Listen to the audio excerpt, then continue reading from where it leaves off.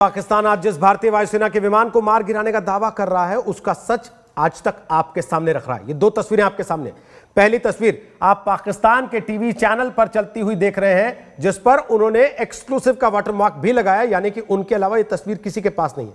लेकिन आपको बता दें, ये तस्वीर 2016 को जोधपुर में एक विमान क्रैश की तस्वीरें हैं। आप टेल नंबर देख सकते हैं। दोनों विमानों का टेल नंबर समान है। इसके अलावा वहाँ बिखरा हुआ मलबा भी समान है। केवल तस्वीर अलग अलग एंगल से लगाकर पाकिस्तानी मीडिया यह जताने की कोशिश कर रहा है कि पाकिस्तान ने भारत का कोई लड़ाकू विमान मार गिराया।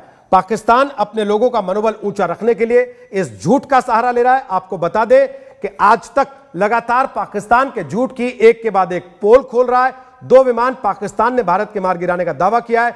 दोनों की तस्वीरें आज तक ने आपको दिखाई हैं। एक तस्वीर उड़ीसा के विमान हादसे की है 2018 की, और दूसरी 2016 के जोधपुर के विमान हादसे की तस्वीरें हैं, जिनको पाकिस्तान आज भारतीय विमानों को हमने निशाना बनाया है। यह कहकर अपने मीडिया के ज़रिए पूरी दुनिया में और पाकिस्तानी लोगों के बीच प्रचारित करने की कोशिश कर रहा है।